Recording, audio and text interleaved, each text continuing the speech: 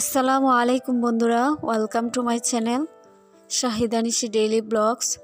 কেমন আছো সবাই? আশা করি ভালো আছো। আমরাও আল্লাহ রহমতে অনেক ভালো আছি। দেখতে পাচ্ছ, আজকে বাড়িতে পিঠার আয়োজন চলতেছে।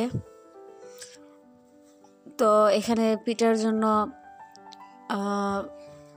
কাই, যেটাকে বলা হয়, ওটা করে নেওয়া হচ্ছে। তো এখানে উনি এত সুন্দর করে কাইটা করল, করার পর উনি মাটির চুলাতে পিঠা বানাচ্ছেন। আমরা সিলেটি ভাষায় যেটাকে বলা হয় আমরা সান্দেশ বলি, কিন্তু এটা হচ্ছে গুড়ের তেলের পিঠা। তো এটা আমার বোনের বাড়ি যাবে, গ্যাসও আছে, কিন্তু হুট করে শেষ হয়ে যাওয়ার কারণে বিপাকে। এত সুন্দর করে পিঠাগুলা ফুলে উঠছে, এত সুন্দরভাবে উনি কাইটা করছে যে পিঠার গায়ে কোনো তেল ছিল না। আর অল্প পরিমাণে তেলের মধ্যেই প্রায় অনেকগুলা পিঠা হয়ে গেছে। তো এখানে দুই ধরনের পিঠা করা হবে। একটা হচ্ছে মশলা পিঠা, যেটা গ্লাস দিয়ে কেটে কেটে করা হয়। আমরা মশলা পিঠেই বলি। দেখতে পাচ্ছেন? উনি এখানে মশলা পিঠার জন্য রুটি বেলে নিলেন। ভাবি আছে, এখানে উনি হেল্প করতেছেন। আর আমি ভিডিও করতেছি, ফাঁকে কাজও করতেছিলাম। ঢেকির যে চালের গুড়ির পিঠা, এটা অন্যরকম একটা মজা হয়। তো এটা ঢেকিতে চালের গুড়ি করা হয়েছে সকালবেলা। আর দুপুর বারোটার দিক থেকে ওনারা করা শুরু করছে। তো ও চারটার দিকে নিয়ে যায়।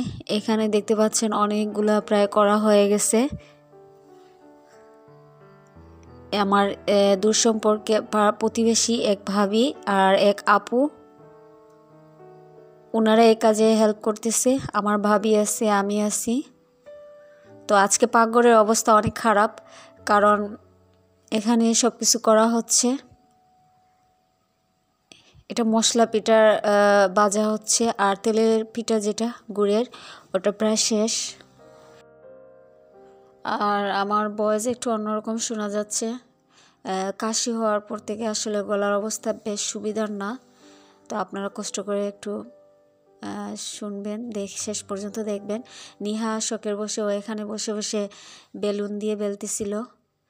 আর দুপুরে তো রান্নার সময় হয়ে গেছে, তো দুই দিকে চুলার পিঠা ভাজা হচ্ছে আর এদিকে ফ্রিজ থেকে বড় বোয়াল মাছ বের করা হয়েছে। এটা আজকে দুপুরে রান্না করা হবে। তো ফুফু এদিকে রান্নার কাজে ব্যস্ততায় উনি এটা কেটেকুটে ঠিক করবেন। পিঠাগুলো আসলে আমার বোনের বাড়ি যাবে, আপনাদেরকে আগেও বলছি, কিন্তু ও বাংলাদেশে নেই। বর্তমানে সুইডেন অবস্থান করতেছে। আজকে এক বছর ওর একটা বেবিও আছে, সপরিবারে ওরা ওখানেই থাকে। তো মাঝে মাঝে সিলেটি অঞ্চলে এটা একটা প্রথা রয়েই গেছে যে ফল ফ্রুটের দিন ফল পাঠানো, পিঠার দিন পিঠা, তারপরে রমজান মাসে ইফতারি এগুলো পাঠানো হয়। এখানে ছাদে একটা চুলা খালি যেটা আমি বানাইছি। এর কারণে এখানে ওনারা দুপুরে রান্না করলেন, এই হচ্ছে গ্যাসের চুলা। এদিকে আমাদের প্রায় পিঠা বানানো শেষ। শেষ করার পর আমি গেলাম যে ওখানে ওরা কি করতেছে। দেখতে পাচ্ছেন অনেক বড় বড় জলপাই, এটা আমাদের গাছের। এবার অনেক জলপাই আসছে, তো এগুলো ওদের বাড়িতে কিছু দেয়া হবে। ও পুরো ডালটাই ভেঙে নিয়ে আসছে যে গাছে অনেক জলপাই। পিঠা প্রস্তুত, ও নিয়ে যাবে। আর এখানে কিছু বাজার আছে, আপনাদেরকে দেখাবো।